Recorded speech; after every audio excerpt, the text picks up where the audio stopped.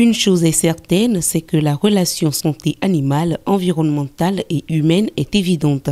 C'est le cas par exemple de la grippe aviaire, la maladie à virus Ebola et la fièvre Lassa, toutes des maladies d'origine animale. Pour y faire face, les acteurs de ces trois secteurs font front commun à travers le concept One Health qui vise à lutter contre ces maladies dites de zoonoses. 75% des maladies qui atteignent l'homme aujourd'hui sont d'origine animale.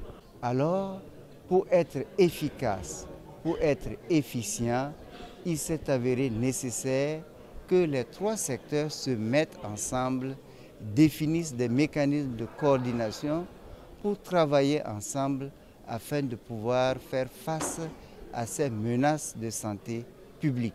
La protection de l'homme est l'enjeu principal de ce concept.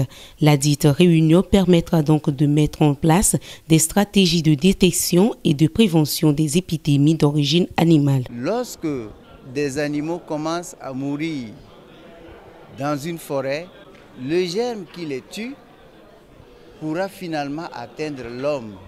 Alors que ceux qui s'occupent de l'environnement si nous partageons ensemble les mêmes informations, nous pouvons de façon proactive déjà protéger les animaux domestiques, puis protéger l'homme. Cette rencontre de trois jours voit la participation des techniciens venus des pays membres de la CEDEAO.